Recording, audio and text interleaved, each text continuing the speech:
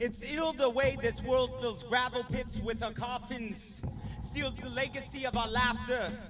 There is no destiny after the killing of our tomorrow when our sorrow is the crucified sunflowers of our sons and daughters. From Detroit to Damascus, we walk streets lined with children caskets. Their eyes continually ask us questions that'll never be answered, like Will I ever taste the sweet scent of tulips again? As Apache war helicopter sees the sky, flames arise from the center of our souls. Our homes are where the rain make beats from gravel potholes. Our stories are not told, they're swallowed. Cough. That is the sound of eternity echoing in your throat. Feel your lungs choke on a cacophony of a coffin symphony. Death hates hip hop. He decomposes body's melodies as we spinal tap drum tracks. I write tracks to bring life back. My life's task is to fight back against all those who would desecrate the creative beauty of our community.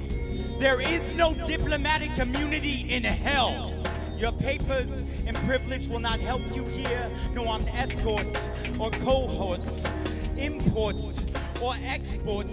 Only the sound of your distorted heart beating and the scent of fear on your flesh, Mr. President.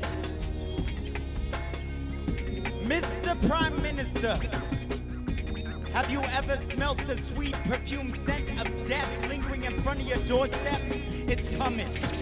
Abba. Amma. Have you ever dreamt of the day we will no longer be running but playing again? Like light laughter after rain, baby footsteps, first breath after sex, fresh kiss lips, and morning dew. We do what we have to to survive. So our children will know what it means to be alive like Algiers Part 2, the battle for Beirut. And when we're finally through, we're taking Mexico too.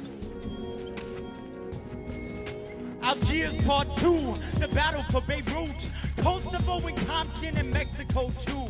Algiers Part 2, the battle for Beirut. Haiti and Harlem and Mexico too. Algiers Part 2, the battle for Beirut. Brooklyn, Jerusalem, Mexico too. Algiers Part 2, the battle for Beirut. Gaza, Palestine, and Mexico too.